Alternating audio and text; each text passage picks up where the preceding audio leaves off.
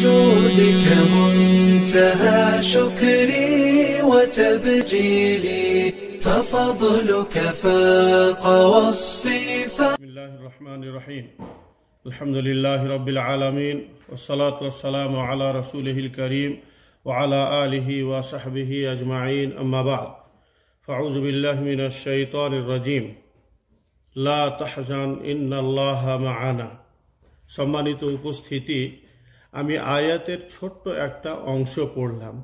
এই আয়াতটার তর্জমা অনুবাদ হইল যে আল্লাহ নবী সাল্লাহ আলী ওয়াসাল্লাম এবং হজরত আবু বাকর রাজি আল্লাহ তালা আনহু দুজনেই যখন গাড়ের ভিতরে, গুহার ভিতরে ছিলেন, তখন হজরত আবু বাকার চিন্তিত হয়েছিলেন যে হয়তো আমাদেরকে শত্রুরা খুঁজে পেয়ে যাবে।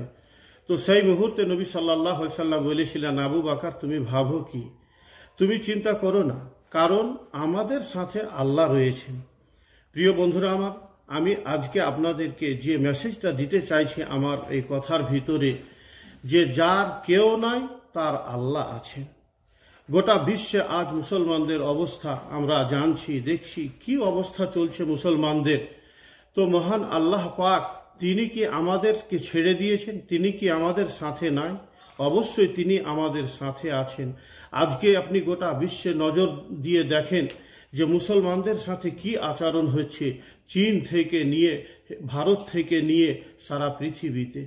তো আমি যেটা বলছি যে আমরা কখনো নিরাশ হব না। কখনো আমরা আল্লাহর সাহায্য থেকে নৈরাশা হব না। তার কারণ তিনি আমাদের সাথে আছেন। আপনি বলতে পারেন যেই দিন হজরত ইউনুস আলিহি সালাম সমুদ্রের ভিতরে মাছের পেটে ছিলেন, কে ছিল তার সাথে?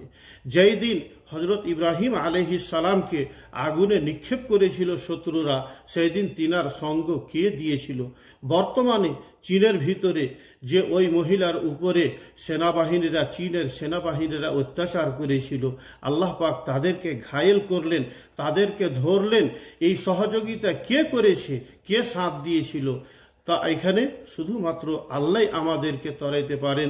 অতএব আমরা যে কোনো সমস্যার সম্মুখীন হলে যেন আল্লাহর দ্বারেই যায়, আল্লাহর কাছেই যেন যায়। আল্লাহ আমাদেরকে সব বুঝে, আল্লাহর সাথে সম্পর্ক গাঢ় করার তৌফিক দান করেন। আল্লাহ আমিন। وصلى الله وسلم على نبينا محمد وعلى آله وصحبه أجمعين. السلام عليكم. لجودك منتهى شكري وتبجيلي.